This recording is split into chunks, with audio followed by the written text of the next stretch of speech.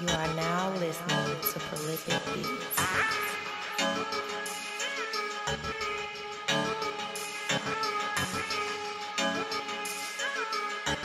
prolific.